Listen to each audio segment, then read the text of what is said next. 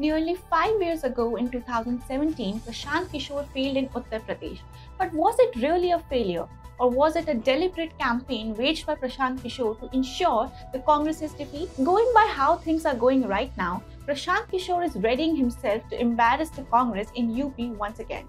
Elections are approaching. In Punjab, where the Congress won in 2017 only because of Captain Amarinder Singh, Prashant Kishor shared the credit pie too. Now Prashant Kishor has ruined the Congress's Punjab unit and soon he will cause Congress's complete disintegration.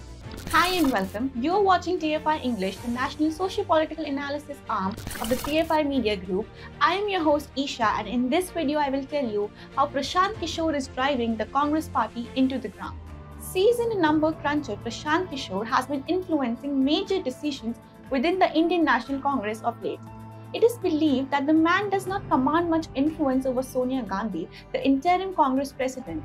Her son and daughter, however, seem to be enamored by the man and his politics since the duo does not have much to account for personally. Rahul Gandhi, without actually holding any position within the Congress party at the moment, is taking all important decisions, and that is infuriating leaders.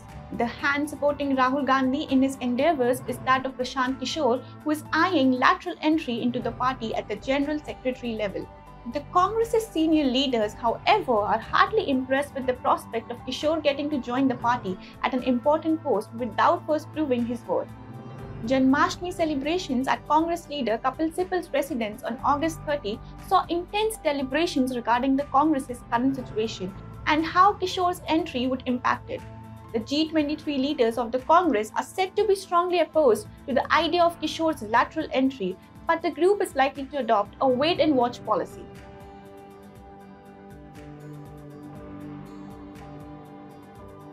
Seems Captain Amarinder Singh's fortunes in Punjab was sabotaged by the Congress High Command with the help of Prashant Kishor.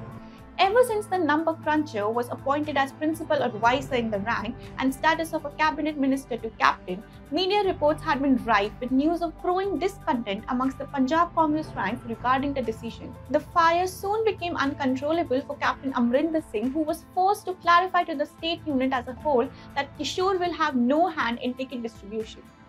However, the damage was done and discontent within the Congress's Punjab unit only grew hereon, ultimately precipitating the appointment of Navjot Singh Sidhu as the state unit's president and most recently resulting in the removal of Captain Amarinder Singh as chief minister.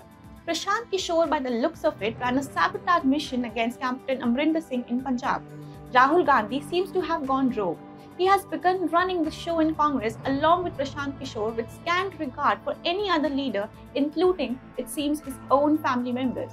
It must be remembered that the Punjab fiasco, beginning with the appointment of Sidhu as the state unit president, was being considered a pet project of Priyanka Gandhi. Did Rahul Gandhi sabotage his own sister's mission along with Kishor?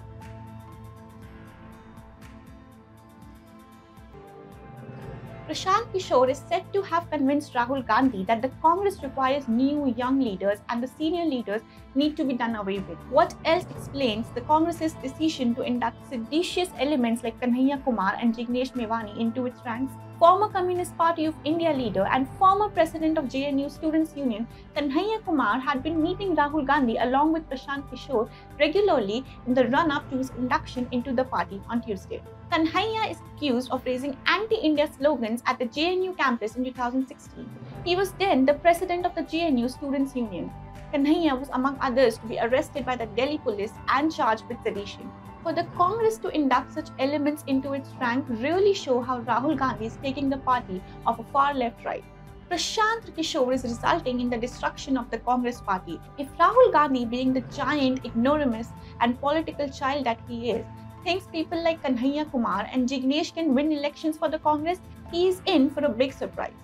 Kanhaiya Kumar was defeated by BJP's Giriraj Singh during the 2019 polls by a margin of 4 lakh votes from Bihar's Begusarai. This even as Begusarai is considered a strong hold of the left.